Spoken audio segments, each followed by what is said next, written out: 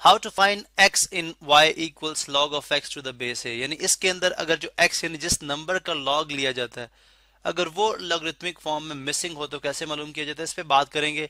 First करें जी हमारे पास आ, जैसे हमने बोला था जी कि अगर हमारे पास four as two power three हो जो कि एक्सपोनेंशियल फॉर्म के अंदर है इसका आंसर आता है सिक्सटी फोर ठीक है? अब अगर आप इसको लॉगरिथमिक फॉर्म में लिखते हैं तो बन जाएगा जी लॉग ऑफ़ 64 यानी अगर आप 64 का लॉग लें विद बेस 4 तो आप देखते हैं कि 4 की किस पार के लिए आपके पास जवाब जो है वो 64 आएगा। तो आप कहते हैं जी वो थ्री है।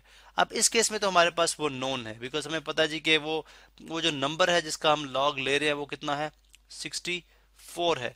लेकिन अगर यहाँ पे ये जो 64 है, यानी जो एक्स है, ये मिसिंग हो तो फिर किस तरह से हम इसको फाइंड आउट कर सकते हैं? इस पर हम बात करेंगे। क्वेश्चन हम ले लेते हैं, एक डिफरेंट फ़र्स्ट करें जी लॉग ऑफ़ लॉग ऑफ़ चले log of 8 to the base 64 is equal to x by two यहाँ पे हमने फाइंड आउट करना है कि x यहाँ पे क्या होगा यानी x की क्या वैल्यू होगी। अब इसको फाइंड आउट करने के लिए अब अब देखें तो सबसे पहले हम लिखेंगे इसको इसको लिखेंगे जी एक्सपोनेंशियल uh, फॉर्म ये लॉगरिथमिक फॉर्म है इसको एक्सपेरेंशियल फॉर्म में लिखा जाएगा। अब आप जानते हैं कि दिस इज़ द बेस ये हमारे पास क्या है? बेस है। ये वो नंबर है जिसका लॉगरिथम लिया जा लिया गया है जिसको हमने एक्स बोला है। और दिस इज़ कॉल्ड एक्सपोनेंट ये हमारे पास एक्सपोनेंट है।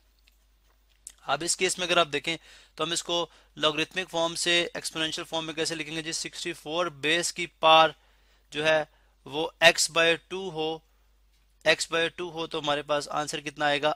8 हमारे पास जवाब आएगा 8 अब हम इसको मजीद सॉल्व करते हैं, अगर आप यहाँ से देखें तो आप इसको लिख सकते हैं जी 64 दिस इंप्लाइज दैट 64 की पार x by two is equal to eight मैं दोबारा लिख रहा हूँ। इंप्लाइज 64 को हम लिख सकते हैं जी 8 का स्क्वायर अब देखें 64 को 4 मल्टीप्लाई बाय 4 मल्टीप्लाई बाय 4 भी लिखा जा सकता है। लेकिन यहाँ पे हम इसको फोर बल्ले फोर इसलिए नहीं लिख रहे क्योंकि हमें फोर एस पर थ्री नहीं चाहिए। अगर आप यहाँ पे देखें तो x बाय टू है। यानी जो आ, अगर मैं इसको x बाय टू को इस फॉर्म में लिख लूँ अगर मैं x बाय टू को चूँकि होमवर्क मैं यहाँ पे इसको बॉक्स में बंद करता हूँ। अगर मैं x बाय टू को ऐसे लिख लूँ x by two is equal to x multiply by one over two तो हमारे पास यहाँ पे स्क्वेयर रूट की फॉर्म में जो स्क्वेयर सिक्सटी फोर के ऊपर बेसिकली स्क्वेयर रूट है। तो इसलिए हम पावर यानी फोर की पावर थ्री लिखने के बजाय हम एट की पावर टू लिखेंगे। अब अगर मैं इसको एट की पावर टू लिख दूँ और ये है x by two is equal to eight तो इसको मैं कर सकता हूँ सॉल्व जी। इस तरह से सॉल्व कर सकता हूँ जी। एट की पर ब्रैकेट का मतलब होता है multiply two multiply by x over two is equal to eight की पावर कितनी है? वन।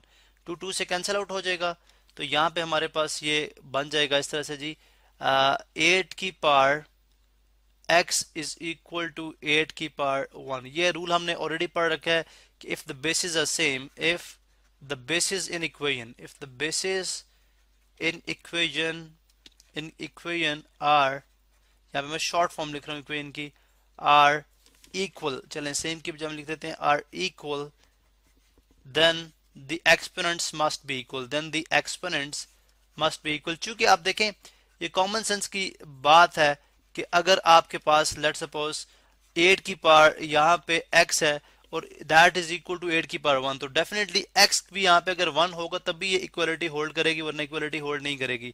तो अकॉर्डिंग टू दिस रूल हम कह सकते हैं जी this implies this implies this implies कि x इज़ इक्वल टू क्या, x इज़ इक्वल टू क्या हो जाएगा? यहाँ पर हम this is this implies x is equal to x will be equal to one x जो है वन के बराबर हो जाएगा। तो ये वो वैल्यू थी जो हमने फाइंड आउट करनी थी। अब अगर आप इसको वेरीफाई करना चाहते हैं तो आप यहाँ पे जो है, देख लें कि अगर मैं इस जो आपके पास कॉमन फॉर्म थी, इसको हम यहाँ से कॉपी कर लेते हैं, जो हमारे पास सॉरी हमारे पास एक्सपोनेंशियल फॉर्म थी। एक्सपोनेंशियल फॉर्म के अंदर, यहाँ पे आप देखें एक्सपोनेंशियल फॉर्म के अंदर मैं अगर एक्स वन बाई वन लिख दूँ, जो कि हमने भी फाइंड आउट किया तो आप इस रिज़ल्ट को वेरीफाई कर सकते हैं। सिक्सटी फोर एक्स की power one by two is equal to eight या सिक्सटी फोर का आपको पता है sixty four this implies sixty four का जो स्क्वेयर रूट है, वो इक्वल होता है एट के तो ये बात फैक्ट है। इसका मतलब है eight is equal to eight तो यहाँ पे जो हमने ये आंसर मालूम किया, ये बिल्कुल और राइट है। यानी ये वाला स्टेप आप क्वेश्चन सॉल्व करते वक्त नहीं करेंगे। ये जस्ट टू अंडरस्टैंड कि आपको कॉन्सेप्ट समझाने के लिए ये हम स्टेप परफॉर्म करते हैं कि किस तरह से हमने जो फाइंड आउट वैल्यू की थी, वो इक्वेजन में रखने से हमारी left hand side right hand side बराबर हो जाती है।